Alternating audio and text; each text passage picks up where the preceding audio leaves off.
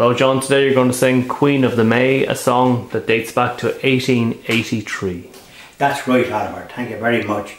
Uh, my painting the Sea of Galilee uh, prompts this as well. And uh, it's the Queen of the May. Uh, every May, I meant to sing it during the month of May, but with this referendum, I, I just didn't get around to it. But I'm going to make up for last time. Uh, the Queen of the May was written by Mary Elizabeth Walsh in 1883 and it was based on the traditional 13th century Catholic hymn and it was always sung by Canon Sidney MacEwan, a Scottish Catholic priest.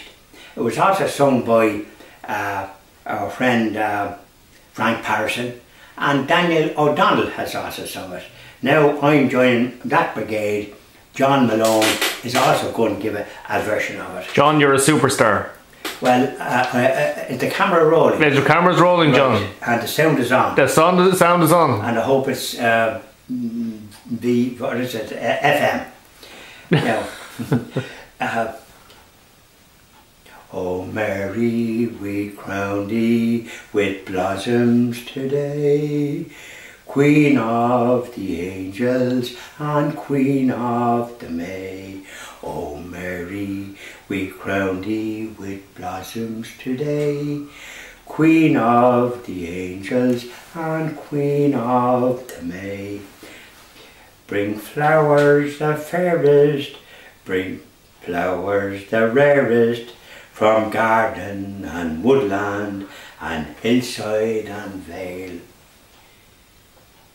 Our full hearts are swelling, our glad voices telling. The praise of the inviolatest, the loveliest rose of the vale.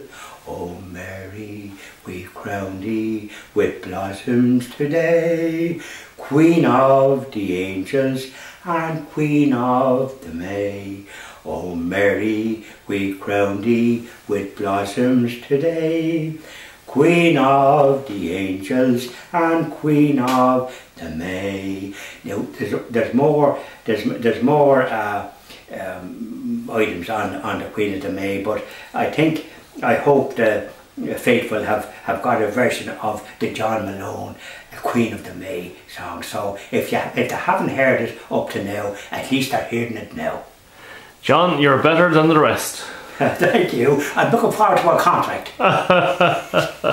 Thank you, John. Bye bye.